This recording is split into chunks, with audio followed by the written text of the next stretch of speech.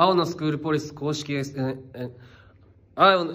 青のスクールポリス公式 S、青のスクールポリス公式 SNS をご覧の皆さん、どうもこんにちは。えー、三枝弘樹役の山田裕貴です。えー、僕はですね、少年係の刑事を演じております。えー、いつもですね、藤原さん演じる島田さんに、えー、事件の捜査に関することにですね、うまいことこき使われてですね、あの、振り回されております。えー、このドラマはですね、本当に学校の悪だったり、先生の悪だったり、人の悪みたいなのを、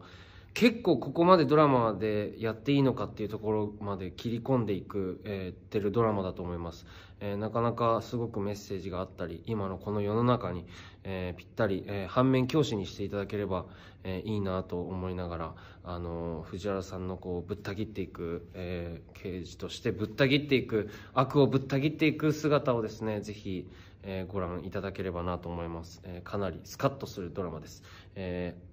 アクションも激しめになっているので ここだけすごい台本っぽくなっちゃった。えー、すごい結構アクションもあるので、学園ものかけるアクション、かける、なんかこう人の、